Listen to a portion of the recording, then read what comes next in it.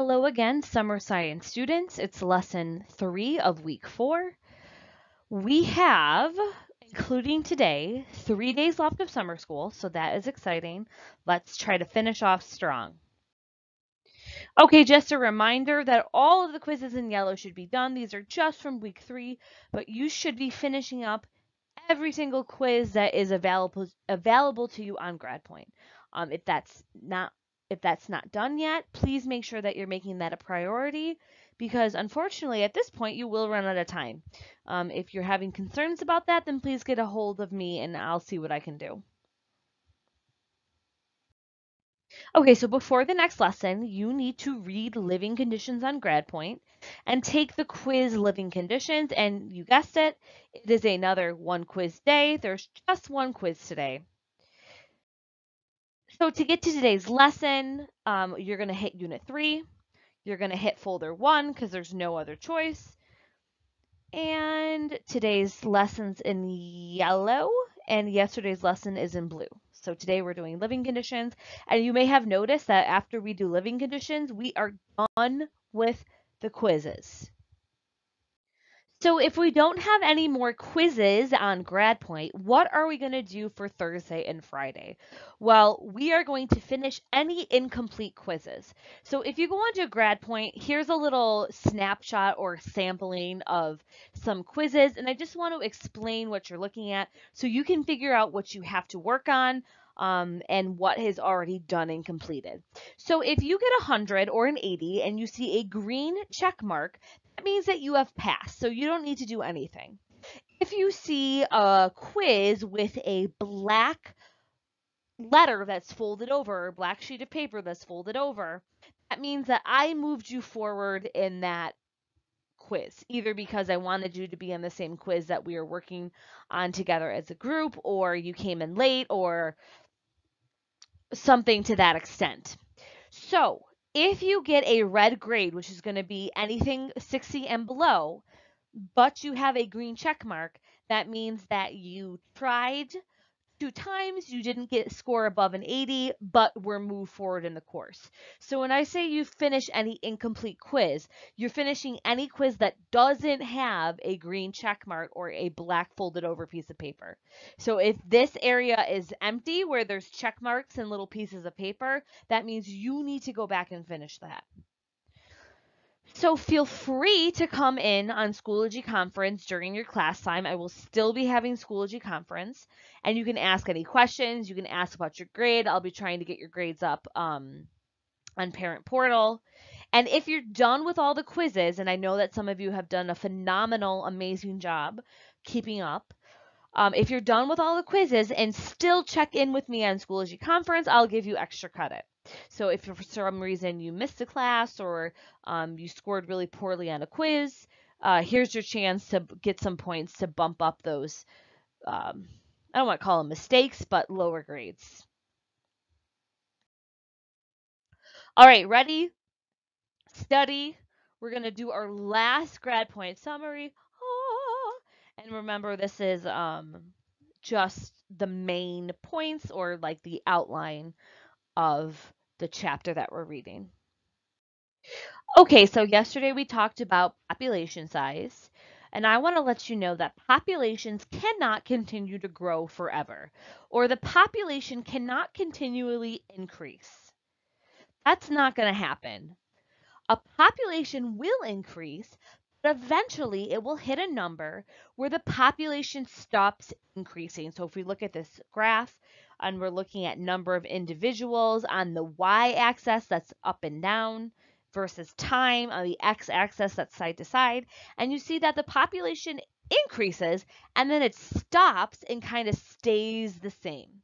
And when it starts plateauing or becoming that curve starts becoming flat we say that that population has hit the carrying capacity.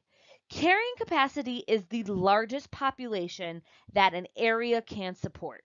So let's talk about like big areas. Let's say we're talking about a state park, and I tell you, um, this state park cannot hold more than 50 black bears. and you're like, huh, okay, well, I, it's a big forest. I thought I could have at least like 100, 200 black bears. But I say no. Once it gets to 50, the population will remain steady. That's the carrying capacity. So, why does the population stop increasing? What happens that won't let that population really go past the carrying capacity? Why does it have to be 50 bears? Why can't it be 65 bears? Well, eventually, there may not be enough resources to support a higher number in population. So, what do I mean?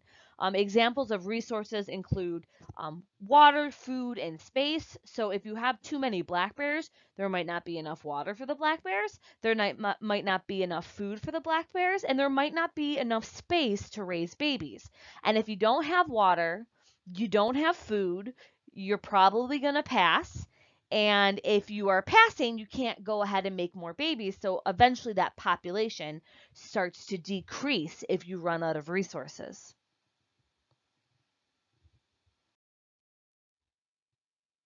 So a limiting factor is something that will limit or prevent or stop population growth. Example, water is a limiting factor when there is a drought, and a drought is a period of no rain. So these are the things that are going to pump the brakes on the population just exploding in size. So if you have a bunch of plants um, and the plants are happy and healthy, but all of a sudden you don't have enough rain, then you're going to decrease your population. You're only going to have enough water for a certain number of plants, and that's going to be a limiting factor. That's going to determine how many plants that you can have.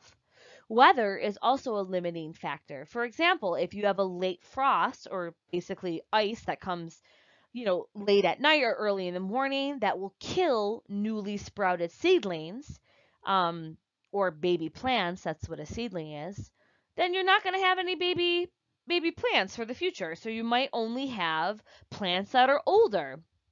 So that's an example of weather being a limiting factor. Think about like in the North Pole or in the Arctic, it's very cold. That cold condition might put a limit or a stop to how many organisms that area can support. Another limiting factor is space. So I'm going to start talking about a bird called a gannet. It's like a ocean bird. And if it cannot find room to nest, then space will be considered a limiting factor. Now, these type of birds like to nest on cliffs, and that's a picture of them nesting on a cliff. And you can see that space is very tight. So if you cannot have enough space for all those birds, they're not all going to be able to nest. So your population is going to stay relatively at the same size. Remember, no babies equals no increase in population. Okay, so we're going to stop. We're done with living conditions. I suggest that you rerun, rewind the video um, or go back in the video a few minutes, watch it one more time. It's not going to hurt you. And then go ahead and take the quiz living conditions. And when you're done and pass with that, you are done for the day. So congrats, you have officially done all of the work.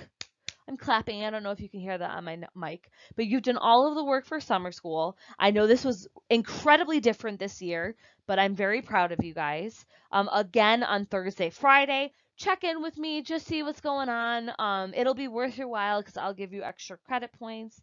And again, great work. It's been a pleasure to teach you. I'm happy to say that you guys are officially eighth graders, and I wish you the best of luck for next year. Stay safe, stay healthy for the rest of the summer.